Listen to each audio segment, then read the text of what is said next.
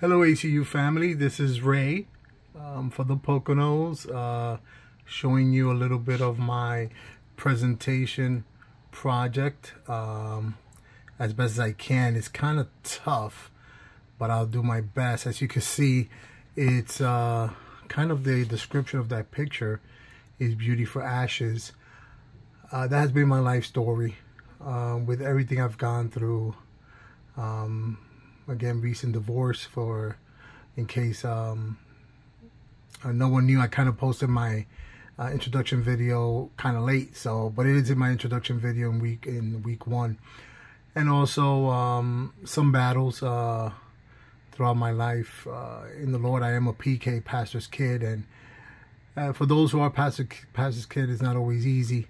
The Lord kinds of the Lord kind of makes a way for us to um, go through things so we could shine at the end. Um, currently going to so, through some things that are kind of amazing that I'm taking this course during this time.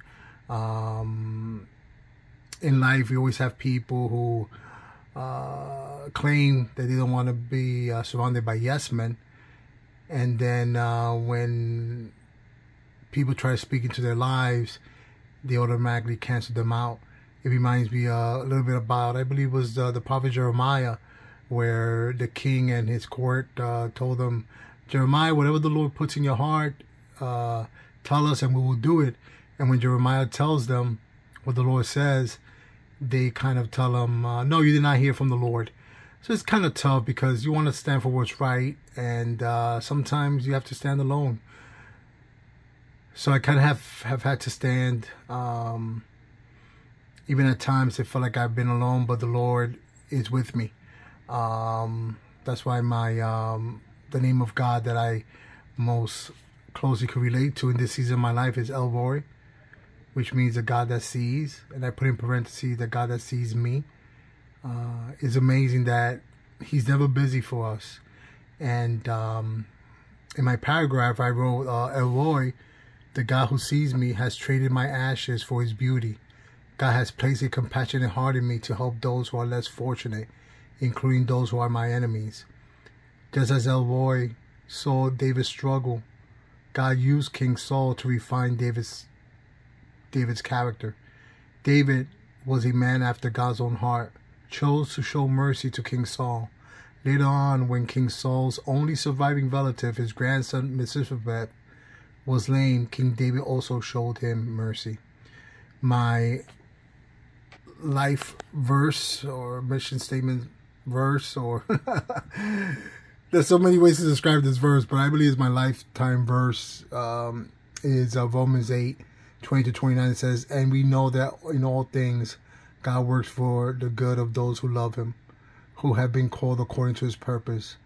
For those god foreknew he also predestined to be conformed to the image of his son that he might be the firstborn among many brothers and sisters isn't it amazing that no matter what we go through, God has a reason for it because he's shaping us into the image of his son.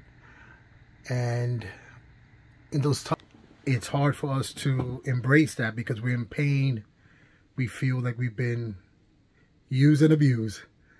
But even in those times, God is shaping us to the image of his son.